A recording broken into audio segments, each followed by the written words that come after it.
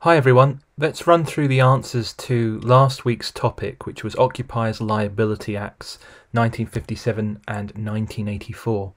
So, to begin with, this was an example on that we looked at in respect of Georgia's parents being away for a weekend. So, she invites some friends around for a pool party.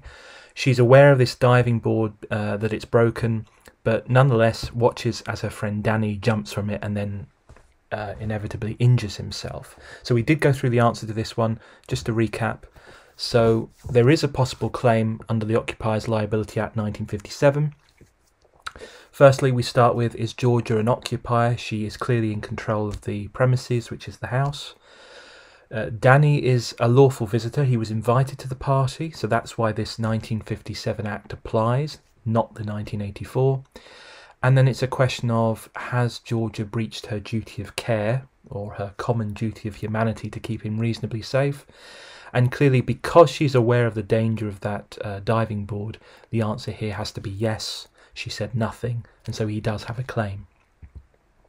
Likewise, I think we did also look at this one, which was Rebecca uh, at college walking near this water cooler. She slips on this large pool of water and injures her back. Is there a possible claim under the 1957 Act here? And the answer is uh, yes. The uh, college management are the occupiers. The premises is the building that it takes place in, wh- wherever that might be. Could be the um, outside the sports hall. I don't know she is a lawful visitor because, of course, she has license to be on the premises as a college student. And it then comes back to the question of is there a breach here? And no sign has been put out. If the college management uh, or employees had placed a sign out to say something like caution water or, or I would have thought you know cleared it up then there may have been certainly a defence of some description but here as they did nothing uh, and didn't keep her reasonably safe, Rebecca has a claim. Now, these are the ones of which I didn't provide the answers before in my presentation, so uh, I want you please to look at the answers that you did, okay? Pause the video if you need to at any point, and let me just run through with you these and, and see if you've got them correct as well.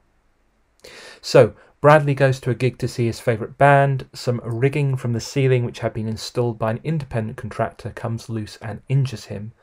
Does Bradley have a claim under the 1957 Act? So I've said possibly. Uh, here, if we look again, you've got here uh, the occupier being the uh, the sort of the owner, if you will, of the um, the venue um, and then the premises themselves are the venue. Now, there is a possible defence here for the owner of the venue under section 2, subsection 4. And this is where you're arguing that an independent contractor or third party has been negligent in the work that they've done, and it's because of them that the uh, injured party here, which is Bradley, you know, that's what's caused his injuries. So we've got three tests here to establish, and all three must be met.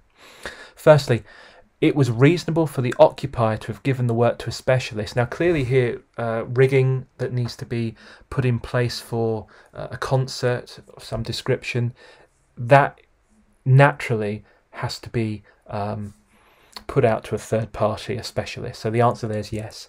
Secondly, the contractor hired somebody who was competent, qualified. Now, someone that was competent in a sense was, and we don't have too much information here, but the questions you would raise in the exam answer is someone who's competent would be qualified. Do they have insurance? Uh, as I said before, you go onto some websites and people are, are sort of endorsed or rated.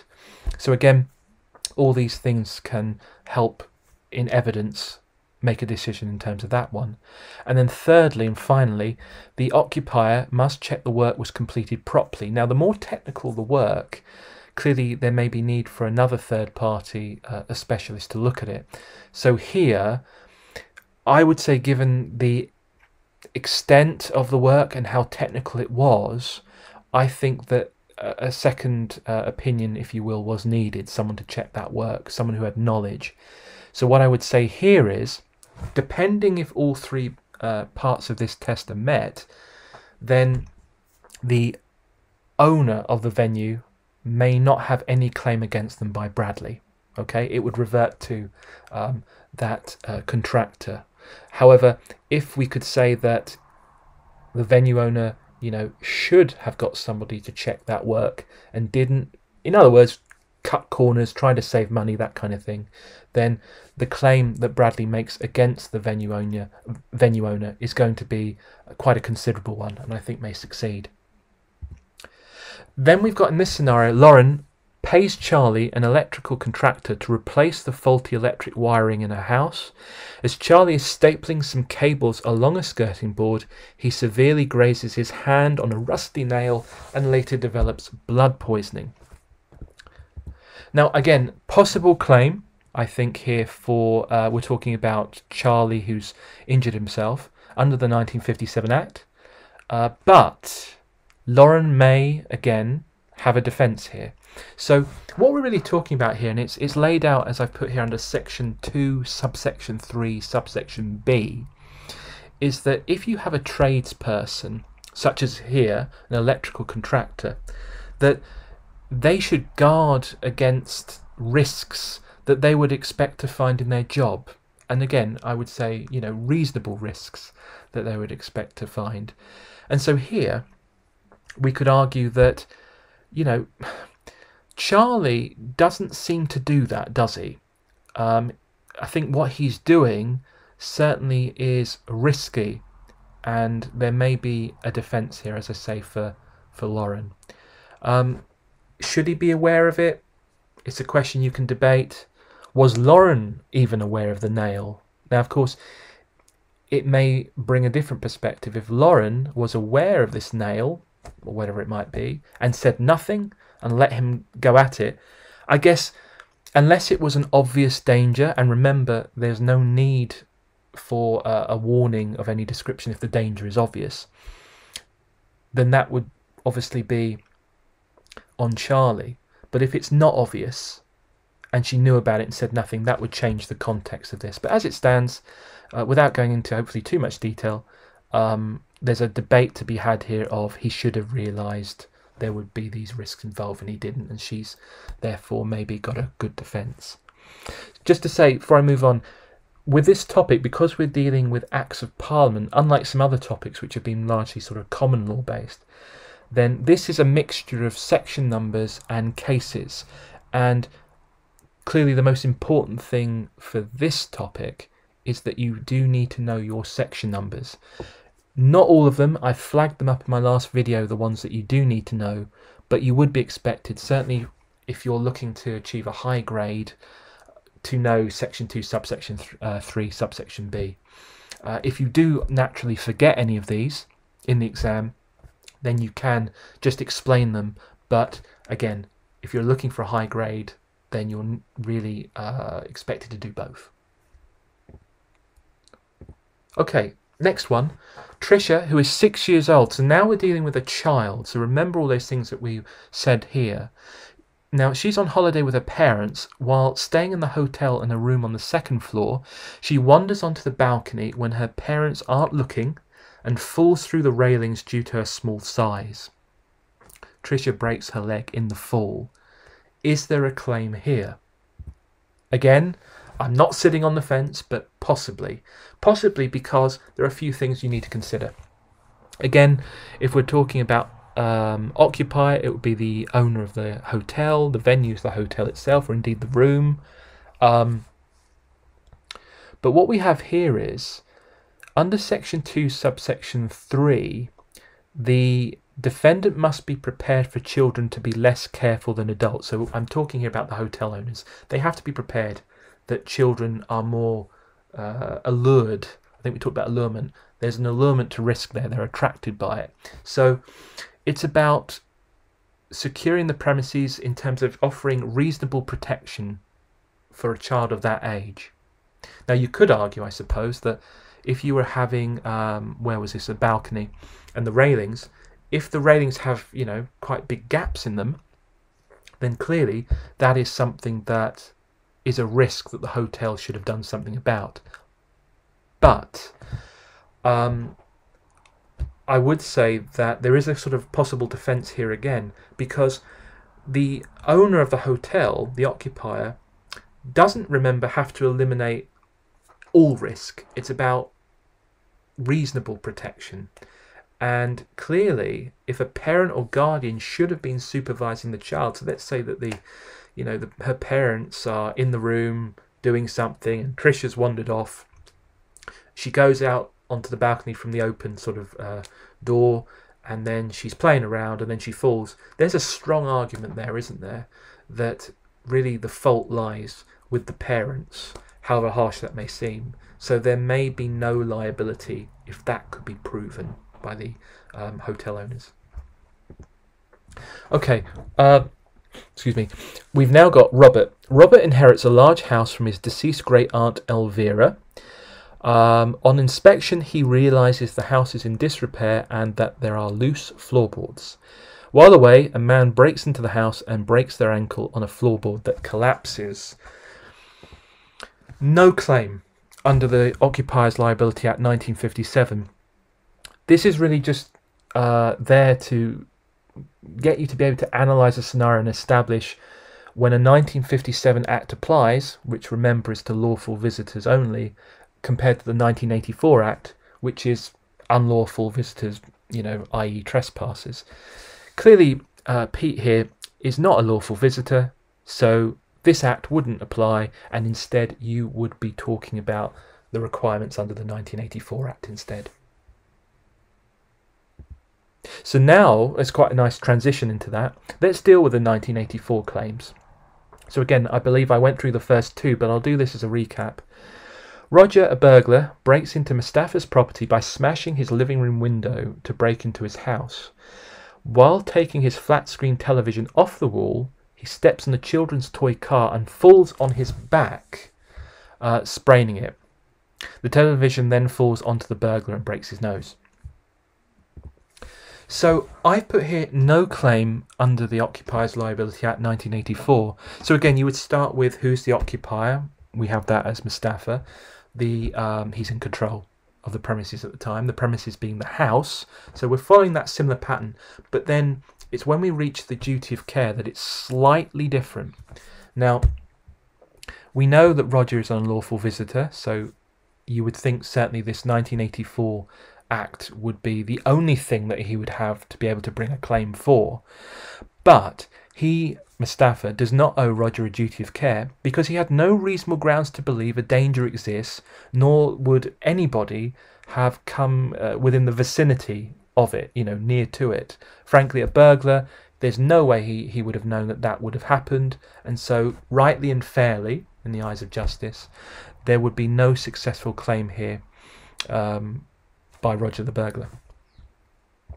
And then we looked at Ben. He owned a long garden, uh, at the bottom of which was a derelict garage. So, you know, it's no one's in it, it's in disrepair. Having seen young boys trying to get over his garden fence near to the garage, Ben placed a large notice on the fence which stated, Danger, keep out. Later, for a bit of fun, Alan, another young boy, climbed over the fence and onto the garage roof. The roof suddenly collapsed due to its rotten condition, because remember it was derelict, causing Alan to fall and rip his, sorry for the typo, rip his legs open on jagged tiles. Is there a claim here? Possibly. Um, again, moving past, you know, occupier, clearly that's Ben, premises, we're talking about the, um, well, we're talking about the garden, but remember it can be any fixed uh, sort of structure on it, such as a garage. Now, the difference here compared to the last is that Ben had reasonable grounds to believe a danger exists with this garage. Uh, furthermore, he knew, he was aware of the fact that young boys had been um, climbing into his garden and, and going into the garage. So that's the key difference. To avoid liability, Ben would have had to, for example, have provided a warning sign uh, however, you know, it, it does depend its effectiveness on the age of the individuals who are injured. Uh, so, the remember, the younger the child, perhaps the uh, they're less able to understand and appreciate that that risk. Um, if they're in their, for example, early teens, then we're talking that they're more able to appreciate the risk. Irrespective of that, young people we know uh, are attracted to danger. So this is one for you to debate in your answer. Uh, you could say, as I said, the older they are, um, do they appreciate the risk? Maybe you could say, um, if they appreciated the risk, there should be no claim by Ben. Uh, sorry, by um, Alan. That's right, by Alan. Uh, but it's one again you can debate. Okay, next one. Vin is out celebrating with friends at his local pub in Brighton. A little worse for wear as they head home at midnight. They decide to go diving into the sea from a nearby harbour owned by Vikram, a wealthy businessman. It is a well known spot where people jump into the sea. There are no warning signs, but security guards on patrol have escorted people away. Vin jumps into the sea and breaks his neck on an underwater obstruction.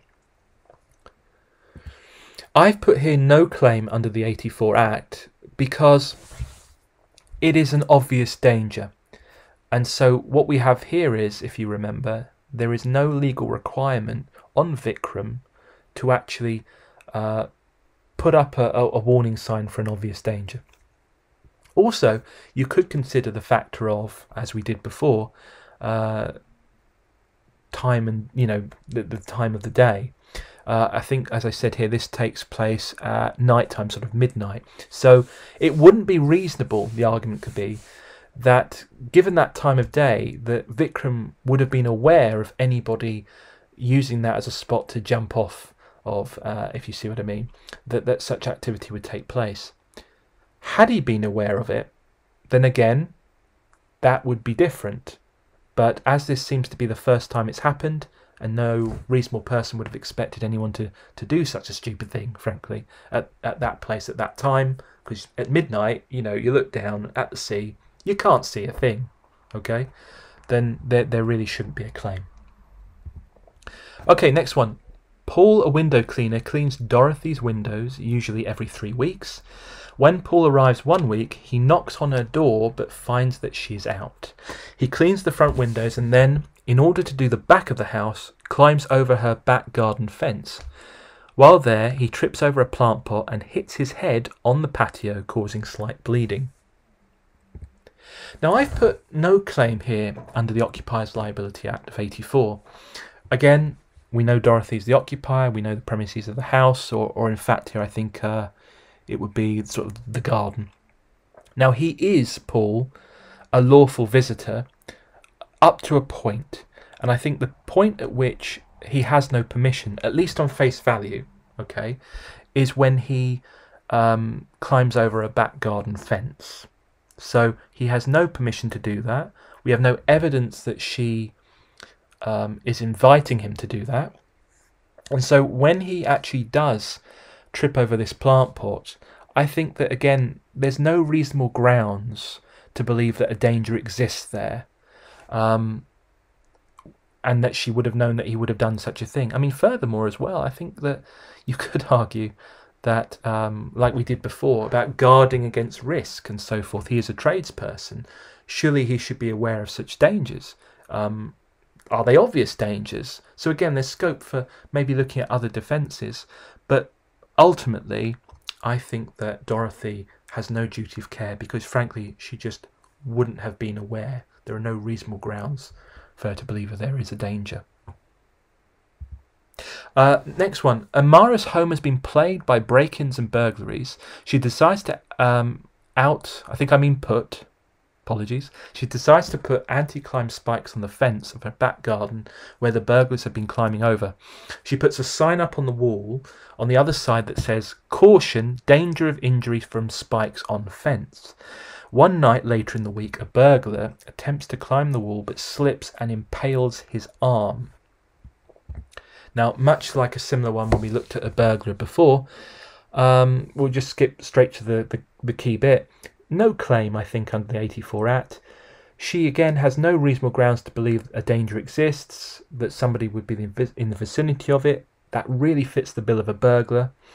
Um, she also has a complete defense in that she's put up this effective warning sign. Now, warning signs is a full defence to the 57 Act as well as the 84. But with the 84 Act, because we're dealing with trespassers, unlawful visitors, the standard that they have to be at is a lot less.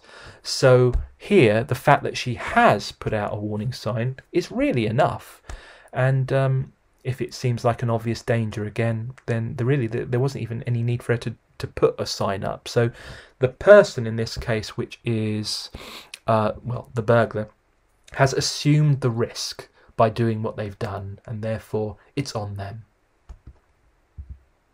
Matt inherits a large house from his deceased great aunt Elvira. When Matt inspects it, he finds it in disrepair. The hall staircase leading to the first floor has loose floorboards. Matt is told that local teenagers use the house to meet up and make out. Matt leaves the property. Later in the week, a teenager who trespasses into the house falls through the staircase and breaks their leg. So here I've put possible claim under the 1984 Act. Uh, again, uh, we would do occupier and premises. That may seem pretty straightforward by now, but we're talking about the occupier Matt. Um, he has reasonable grounds to believe a danger exists because here he's aware of the state of the house being in disrepair. He's also aware that teenagers from the local area have been um, trespassing into the property frequently. And frankly he's not done anything about it. So he could have put up a warning sign you know no entry this house is um, you, you know not safe whatever you want your sign to be.